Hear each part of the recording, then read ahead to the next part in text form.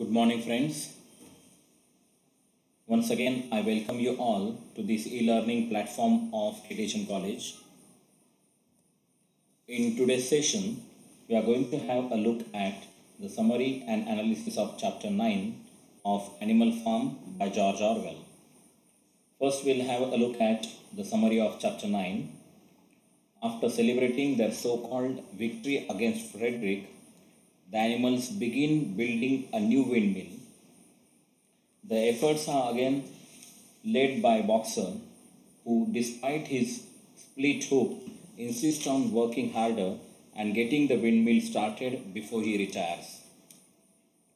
Food supplies continue to diminish, but Squealer explains that they actually have more food and better lives than they have ever known. The four sows litter 31 piglets. Napoleon, the father of all of them, orders a schoolroom to be built for, the, for their education. Meanwhile, more and more of the animals' rations are reduced while the pigs continue to grow fatter. Animal Farm is eventually proclaimed a republic and Napoleon is elected president. Once his hoop heals, Boxer works as hard as he can at building the windmill until the day he collapses because of a lung ailment. After he is helped back to his stall, Squealer informs them that Napoleon has sent for the veterinarian at Willingdon, Willingdon to treat him. When the van arrives to take Boxer to the hospital, however, Benjam- Benjamin reads its side and learns that Boxer is actually being taken to a knacker or a glue boiler. Clover screams to Boxer to escape, but the old horse is too weak to kick his way out of the van, which drives away. Boxer is never seen again. To placate the animals, Squealer tells them that Boxer was not taken to a knacker, but that the veterinarian had thought had bought the knacker's truck and had not yet repented the words on its side. The animals are relieved when they hear this. The chapter ends with a grocer's van delivering a crate of whiskey to the pigs, who drink it all and do not arise until afternoon the following day. This is the summary of chapter 9. Now we'll have a look at the analysis of chapter 9. Boxer's death in this, in this chapter marks him as the most pathetic of Orwell's creations. Completely brainwashed by Napoleon, he lives for the good of the farm, he lives and dies for the good of the farm.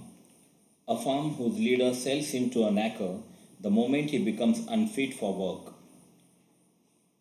His name in looking forward to his retirement and pension fulfills the promise of the white line down his face, which Orwell tells the reader in chapter first gives him a somewhat stupid appearance. Even when stricken and unable to move, Boxer can only consider what his ailment will mean to the windmill and his pipe dream of retiring with Benjamin and learning the remaining 22 letters of the alphabet is as far, far flung as Snowball's Utopia and Moses's Sugar Candy Mountain. The scene in which Boxer is taken to his death is notable for its dis- uh, depiction of a powerless and innocent figure caught in the gears of unforgiving tyranny. Although Boxer tries to kick his way out of the van, his previously incredible strength has been, through days of mindless hard work in the service of his tormentor, tormentors, reduced to nothing. Note that the van's driver wears a bowler hat, a symbol throughout the novel of cruel humanity.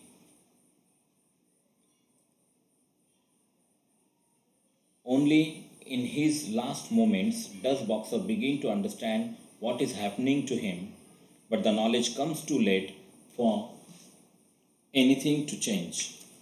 This chapter also continues to display Squealer's manipulation of language for the pig's political ends.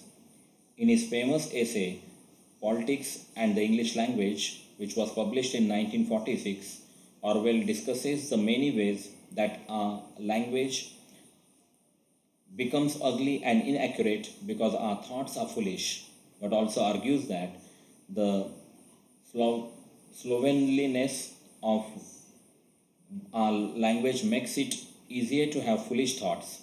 In other words, any corruption of the language can and will have a corrupting influence on the ways in which we think about the very things that language struggles to describe. This process is illustrated in Squealer's announcements to the animals about their shortages of food.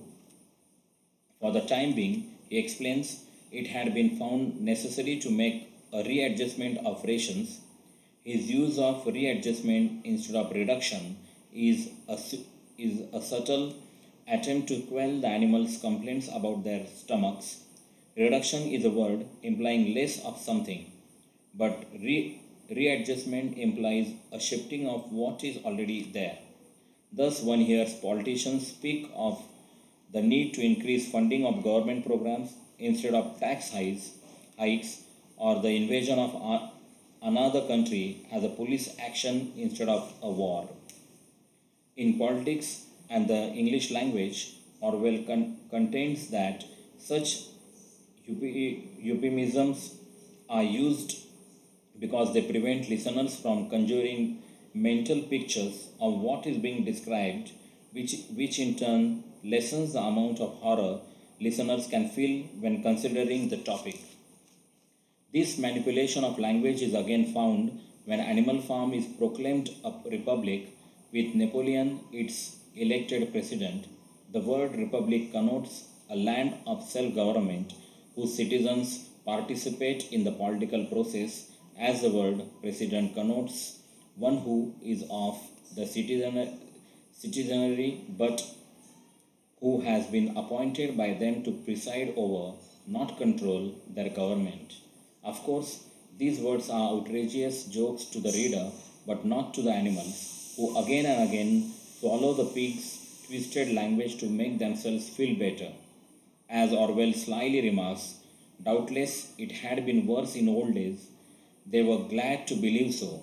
Similarly, the animals are glad to believe Squealer's obvious lies about Boxer's final moments, in which he supposedly praised both Animals Farm and Napoleon.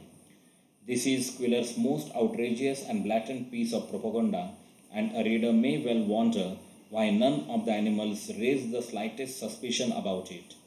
The reason is that they are afraid to do so, afraid of Napoleon and his dogs, of course, but also afraid of probing too deeply into the story and thus upsetting their own consciousness, uh, upsetting their own consciences.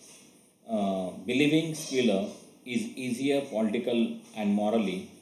They can excuse their lack of action by willingly believing Squealer's lies about the owner of the van, as Orwell ironically explains. The animals were enormously relieved to hear this and when Squealer went on to give further graphic details of Boxer's deathbed, the admirable care he had received, and the expensive medicine for which Napoleon had paid without a thought to the cost, their last doubt disappeared, and the sorrow that they felt for their comrade's death was tempered by the thought that at least he had died happy. Words like admirable, expensive, and without a thought to the cost all give the animals license to excuse their own inaction. As Orwell wrote elsewhere, to see what is in front of one's nose needs a constant struggle, a struggle that the animals doubtless are able to overcome. The return of Moses is like the destruction of the first windmill used to the pig's advantage. A reader may wonder why the pigs allow Moses to remain on the farm and actually encourage him to do so by giving him a gill of beer a day. The reason lies in the effect Moses has on the animals. Again, recalling Marx's famous metaphor, Moses tells of sugar candy, sugar candy mountain, figuratively drug the animals and keep them docile. uh, keep them docile. If life now is awful, at least so Moses tells imply it will not always be much. Therefore, the animals continue working, laboring under the hope that one day Moses' stories will come true. Napoleon, fathering of 31 piglets, suggests how saturated with his image and presence the farm uh, and presence the, the farm has become. In a biological sense, Napoleon is now creating the very population he means to control.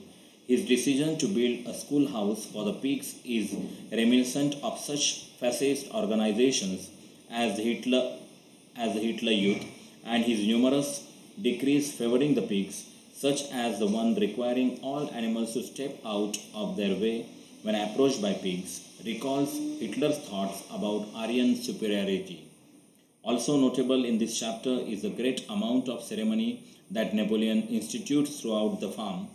The increased amount of songs, speeches, and demonstrations keep the animals' brain busy enough not to think about their own wretchedness, and Napoleon packs the meetings with the sheep in case any animal animals momentarily see past all the pomp and circumstance.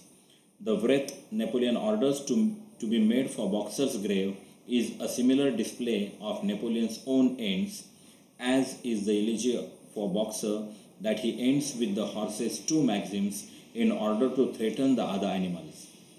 The fact that the pigs get drunk on the night of the supposed solemn day of Boxer's memorial banquet betrays their complete lack of sympathy for the devoted but ignorant horse.